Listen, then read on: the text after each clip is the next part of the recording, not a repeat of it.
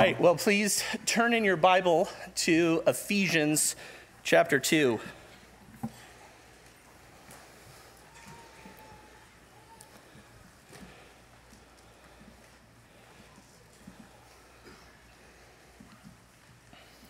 As we prepare to take the Lord's table this morning, I'm going to read starting in verse 1. I invite you to read along as we reflect on what Christ has done for us in the forgiveness of our sins.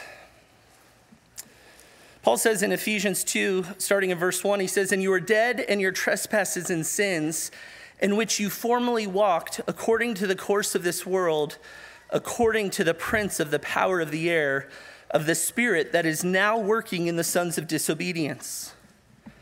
Among them, too, we too all formerly lived in the lusts of our flesh, indulging the desires of the flesh and of the mind, and were by nature children of wrath, even as the rest.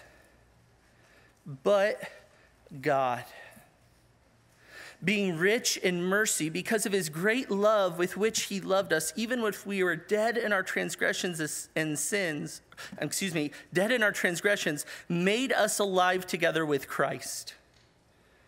By grace you have been saved and raised us up with him and seated us with him in the heavenly places in Christ Jesus, so that in the ages to come he might show the surpassing riches of his grace and kindness toward us in Christ Jesus.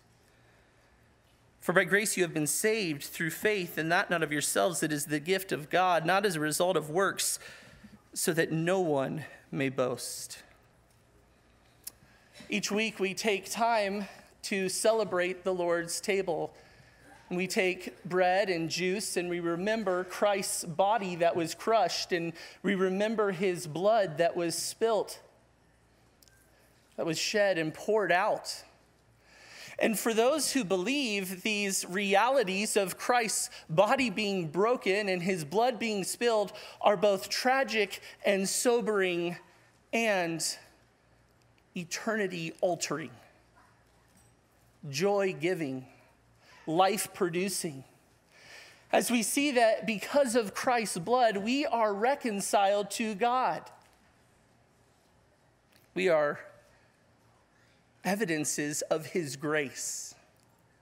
Because there's no way that we could right the wrong that we did. See, we were dead in our transgressions, we were dead in our trespasses and sins, we were enemies of God. And He rescued us.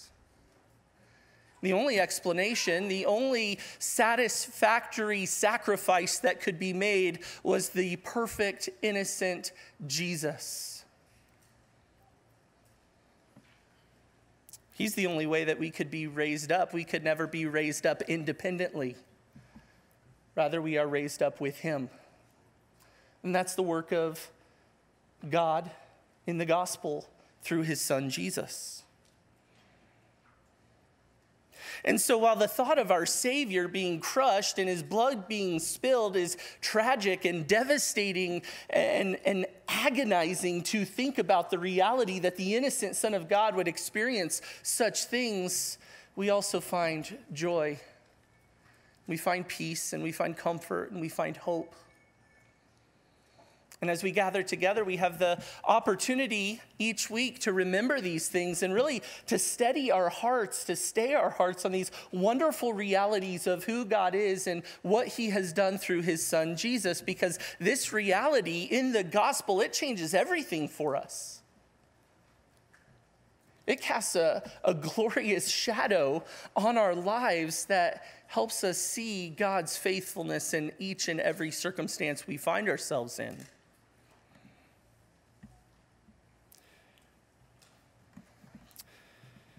God is so kind to bring us this kind of favor, to give to us this rich grace.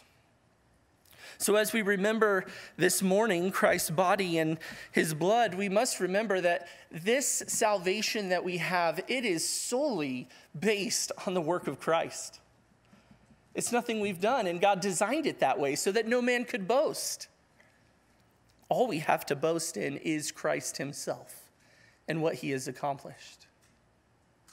If you are in Christ, if you are a Christian, then we'd like to invite you to share with us this morning in taking the bread and the cup and remembering Christ's body that was broken and his blood that was shed.